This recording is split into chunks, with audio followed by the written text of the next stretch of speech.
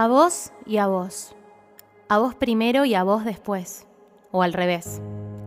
Ya no sé a quién le escribo, o tal vez ya no sepa quién sos vos, ni vos. El mundo de las manos siempre me pareció algo desentrañable, o hasta secreto podría decir. Siempre pensé que en la vida estaban esos que no te la agarraban nunca, o más bien, esos que no te la soltaban nunca. Y los segundos nunca me gustaron, nunca entendí a esa gente. Nunca entendí cómo es que iban tejiendo la trama a tal punto que cuando te dabas cuenta y querías salirte, aunque intentaras rasgarte con toda tu fuerza, los hilos se anudaban de tal manera que ya no sabías cuál era cuál. Hoy no recuerdo cómo es que llegué a ser parte de ellos, pero sí tengo bien en claro que allí y en algún momento de ese tiempo, en algún momento de ese tiempo robado el tiempo, te conocí a vos, a vos y a vos.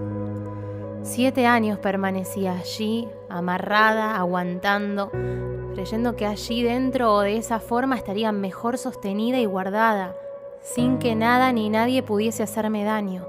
Siete años pasé adaptándome, intentando ser parte, añorando ser elegida, abrumada por no querer estar ahí ni allá, apurada por volver a estar con vos y con vos.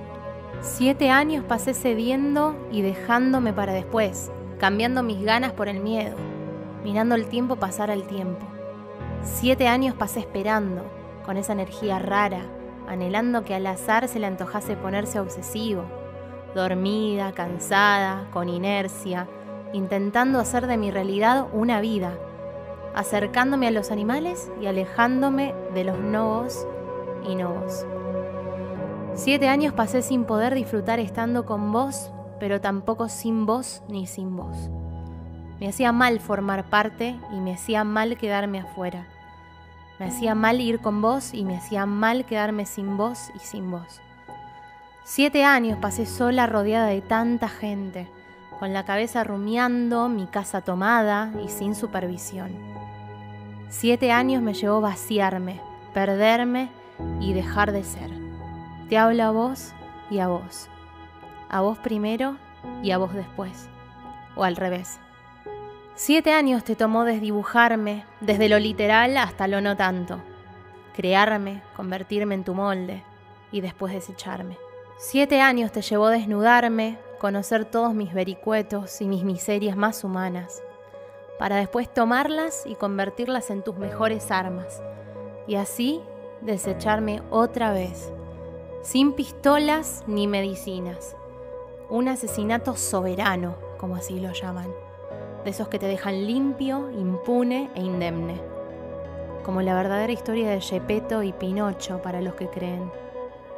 Te hablo a vos y a vos, a vos que me metiste en esta, a vos primero y a vos después, o al revés. Siete años intentando zafarme, buscando la luz, pretendiendo entender procurando soltarme. Siete años cercenando mi cuerpo con tal de ser libre. Te hablo a vos y a vos. A vos primero y a vos después. O al revés. Siete años me llevó darme cuenta que recién cuando aprendes a morir, aprendes a vivir. Siete años me llevó a entender que el olvido está lleno de memoria y que cuando por fin conseguí escapar, mutilada y ringueando, cuando por fin logré huir hacia mi libertad, el daño también lo hizo. Siete años me llevó a darme cuenta que no era fatiga crónica, no era algo orgánico en la cabeza, no era el intestino.